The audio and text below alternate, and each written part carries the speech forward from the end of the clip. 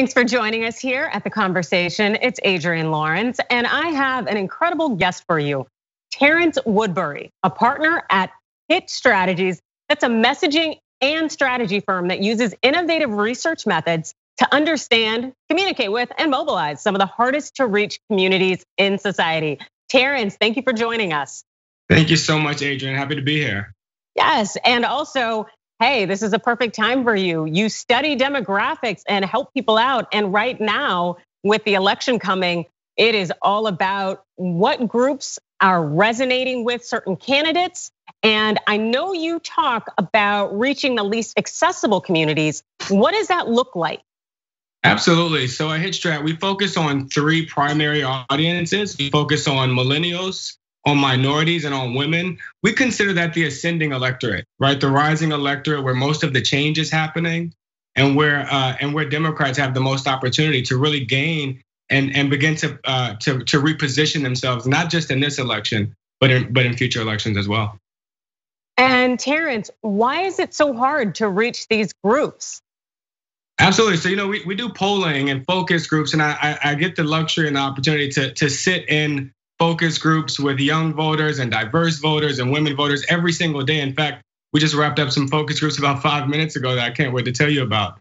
Um, but you know, the, the fact of the matter is, far too often they're just not reflected in our research. They're not reflected in our polling. They're not reflected in, in the way that we design strategy. And so, a part of what we wanted to do here was to give voice to those voters to really uplift their stories, but to connect them to their power, their economic and political power, and, and, and, and to help Democratic candidates and progressive candidates better reach these, uh, these hard to reach and high potential voters. We like to call them high potential and not low propensity. All right, well, I definitely can dig that. And I'd love to transition to a voting segment that is getting a fair amount of attention right now, which is black men. In 2016, Trump, he claimed about 14% of the black male vote. And I know he's trying to court the same group pretty aggressively right now. You recently wrote an article about Trump's strategy to win over black men. What's that strategy look like? It's it, you know it's interesting, Adrienne. Uh, a lot of people started to pay attention to this around the RNC when we saw around the Republican National Convention when we saw a lot of black men grace the Republican stage. Uh, but for me, I really started to notice that this was a, a part of Uh, of, of Trump's winning strategy during the, the Super Bowl in February when he spent $11 million on a single 30 second ad for Alice Johnson to be released from prison after 22 years and to come out and say, Thank you so much, Donald J. Trump. Hallelujah, as she wrapped her arms around her grandchildren for the first time. I knew then with $11 million investment during a program where you have more black men's eyes than any other time of the year. Black men were not just a marginal part of Trump's strategy, they were his path to victory. And ever since then, we've seen him lean in to black men in a unique way, in a way that we have not often seen Republicans do. Um, in fact, just on the issue of criminal justice, we've seen Donald Trump's campaign, his official campaign, prior to George Floyd's death, his campaign had spent $50,000 on criminal justice ads on Facebook. Since George Floyd's death, he spent $6.6 million on criminal justice Facebook ads. And what's interesting there, Adrienne, is not just how much he's spending, it is also the issue that he spends the absolute most on. Nothing else even close. Um, it's not just the amount that he's spending, but it's what he's saying in those ads. Democrats failed you. Joe Biden and Kamala Harris failed you. And that is why I signed the First Step Act and started letting Black people out of jail.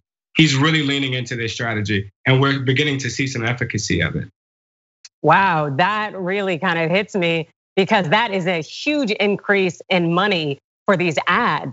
And I know, according to Gallup right now, Trump's approval rating is about eight points higher among Black men than it is among Black women. And it's also right now where this time of black men who are high profile coming out and partnering with Trump. Uh, for instance, Ice Cube, just the other day, we find out that he is working alongside Trump. How is this resonating with potential voters? Well, I, think Ice Cube announced that he had reached out to both campaigns and that he was in the process of helping develop agendas for both campaigns. What we have seen is Donald Trump, being the master marketer that he is, capitalize on that moment, um, uh, uh, amplify that moment, uh, because it's it's for Donald Trump. It's not enough for it to happen if the folks that he's talking to doesn't know what's happening, and that is what we have seen. You know, when I'm in focus groups with black men, and specifically this uh, this this uh, margin of black men are considering supporting Trump, and I ask them, what is it about Donald Trump that makes you want to support him? Like clockwork, Adrienne, they roll off the same three things. He invested in HBCUs. He's letting black folks out of jail, and he had the lowest unemployment rate um, in, in in the black community in generations. If you look at any of Donald Trump's ads targeting black people, no matter what they're saying, no matter what his ads say, there's a checklist at the top of it. And the checklist are those three things.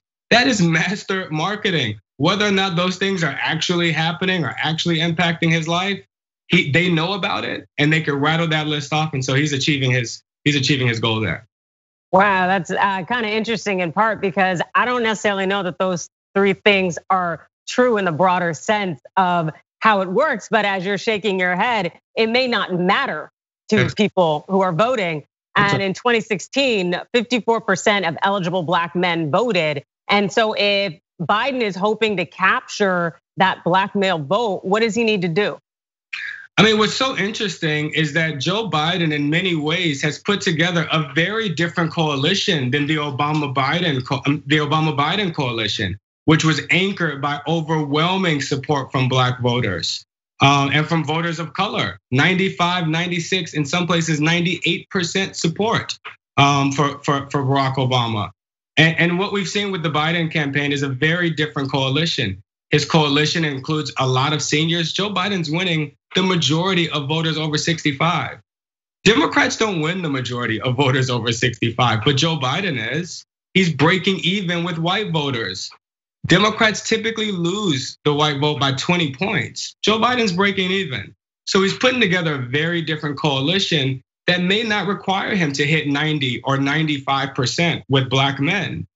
But what's interesting here is that the down ballot candidates, Democrats attempt to take back the Senate, they are going to require 90 and 95% support from black men. So in places like uh, like like North Carolina, Cal Cunningham needs 95% of black folks in, North Carolina. Uh, in places like Michigan, Gary Peters is running against a black man uh, and his Republican his Republican uh, opponent in Michigan. He's going to need to run up 95%. And so Democrats, not just Joe Biden, who has put together a pretty solid and diverse um, winning coalition, Democrats now need to lean in and not just give black men someone to vote against, but they have to give them someone to vote, something to vote for in their down ballot candidates. Indeed, I think I've definitely heard that sentiment echoed across the board with members of the black community feeling like they have no incentive necessarily to vote for a particular candidate. Although I think now Biden is definitely resonating with a number of people, and hopefully there will be some valid change. But I know we don't have that much time left. And you had mentioned that you had a sample group and you had something you wanted to share about that. Please do. Well, you know, as we get closer and closer to, this election, I'm beginning to spend more time in our research and our focus groups, understanding how people will react to the outcome of the election. Um, and even more so, what might happen in that uncertain period where we, we may not know the outcome for a little while. And you know, the the the damage that this president has done, some of it I I think may be irreparable, damage that he is doing to the country. And one of them that I didn't expect, but that is very, very, very startling, is that most of the of the um, young black voters that I just spoke to in this focus group actually anticipate the, the outcome of this election resulting in violence. Um, unanimously, everyone in the group expects this election to end in violence. And I asked them, have you ever thought that before? That depending on who won or lost, that our country might break out into violence, and they said they never have. And so I'm afraid that that what he's inciting, when you tell racist groups to stand back and stand by, when you encourage your support, supporters to go into inner cities and watch people vote, um, I'm afraid of uh, that that we have to really start to message to our voters, uh, you know, the civility of our elections and how we defend the integrity of our elections without breaking into violence or civil war. That's just not who we are as a nation. Well, hey, who we are as a nation is a very hotly debated issue. And I would say we have a history of a lot of violence and problems, but let's hope there will be no war of 2020. But also, since now we're closing up, I want people to have the opportunity to know where they can catch you. Please tell them where they can find you. Yeah, we release data every day. Uh, we release focus group clips and data and findings every day on our Twitter, uh, T underscore Woodbury. That's T underscore W O O D B U R Y, or at the company at hitstrat.com, I'm at hitstrat on Twitter. Uh, you can always find what we're doing there. Thank you, Terrance. And I cannot believe you came on my show and said Trump was a master marketer. That I will never forgive you for, but I do appreciate you coming on. Terrance Woodbury, owner and principal of Hit Strategies. Thank you so much, Adrienne. Like what you see? Click the subscribe button below and don't forget to ring the bell to never miss another video from the Young Turks.